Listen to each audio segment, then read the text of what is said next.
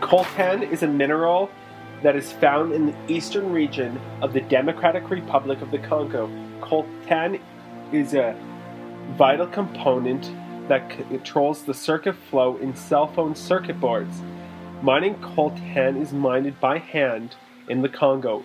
Now, 80% of the world's known supply of coltan is found in the Democratic Republic of the Congo. Coltan is mined in an area also consists of the Shandui Bangian National Park, and this is home of the mountain gorilla. In the park, gorilla populations have dropped by 50%.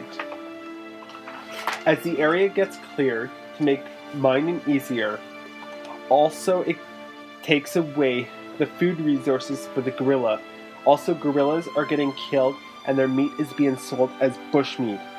All eight national parks have seen a decline by 90% within the last five years, and about only 3,000 now remain. The average lifespan of a cell phone is about 14 months, and with just in the US alone, there are over 150 million cell phone users. Now, there's over 500 million unused cell phones just in the US alone, and over 100 million of these are added to the list every year.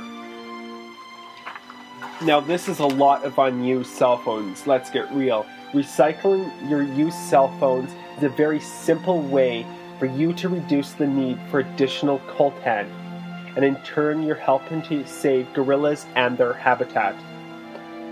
Now, there's a great organization called EcoCell at eco-cell.com.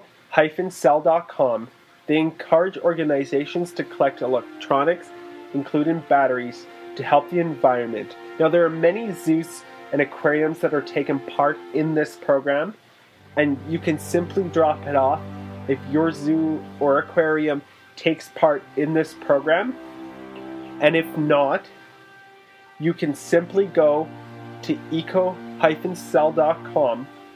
and you can get a free shipping label from EcoCell and they will cover the cost of shipping them.